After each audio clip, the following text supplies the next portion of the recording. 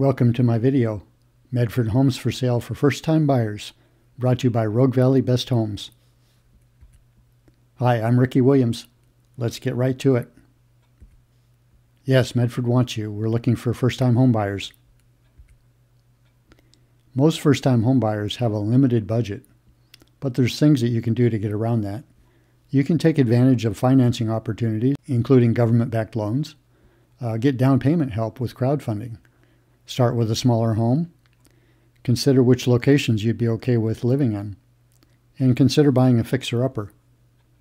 The Rogue Valley Association of Realtors Home Foundation Buyer Assistance Program will provide up to $1,000 towards your down payment and closing costs, but you have to contribute at least $500 of your own money toward the down payment total. You have to attend an education class. You have to work with a real estate broker and lender who belong to the Southern Oregon Multiple Listing Service. You have to be a first time home buyer. That means you can't have owned property for the last three years. You have to get pre approved for a conventional or government insured mortgage. Your household income can't be greater than the average income in Oregon, and the home has to be in Jackson or Josephine County. The Homeownership Assistance Program also offers grants to qualified first time homebuyers. The program is similar to the Rogue Valley Association of Realtors Buyer Assistance Program, but to qualify, you can't earn more than 80% of the median average income. Another way to help get your down payment together is to go with a funded program. And uh, you can get help from family, from relatives, from friends. And I put out another video on this, so please check it out. Start small. Uh, a smaller home means a smaller down payment and smaller monthly payments. Also consider the location that you want to buy in look at the school district, uh, property taxes. You can check the crime rate for, for Medford uh, with the uh, local sheriff's department. And you can check uh, rising or falling property values by consulting with a local realtor.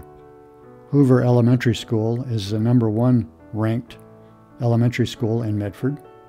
A lot of people want to have their kids in this school and the property values are a little bit higher, as you might expect. Um, but it's not the only school district that's good, so do your homework. This is obviously a fixer-upper, not one that most people would want to tackle. If you do buy a fixer-upper, you can certainly save money with your own sweat equity. However, if the problems are serious, your lender may not loan on the home. So you need to get those problems taken care of before you can qualify for a loan.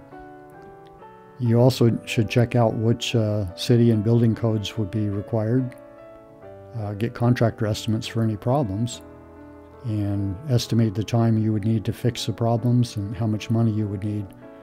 And get a professional home inspection to, to get a handle on, on which of these items you want to get uh, contractor estimates for. There's uh, several resources that you can use uh, you know, to look at which homes are available in, you know, different price ranges. So like under 300,000 right now, this, this particular company, Point Two, um, lists 83 uh, homes under $300,000 in Medford. This is one of those homes. This one's right at $300,000. It's in uh, downtown Medford, and uh, it was built in 1942. So it's got a lot of curb appeal. It looks great, but um, with an older home, you have to consider other, you know, potential issues. So there could be lead in the paint or plumbing, uh, asbestos, and you may need to replace the wiring in, in this old of a home. Wood boring insect damage could be a concern.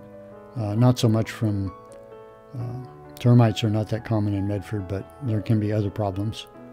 And there might be heating or plumbing issues that you need to take care of. Also, uh, you want to check the age of the roof because uh, you know replacing the roof would be pretty expensive. So, are you ready to buy a home in Medford? Would love to hear your comments or, or questions below. I hope you enjoyed this video. If you liked it, please subscribe to my channel and click on the notification bell so I can let you know when I upload new videos. I'll see you in Medford, and please check out our other YouTube videos.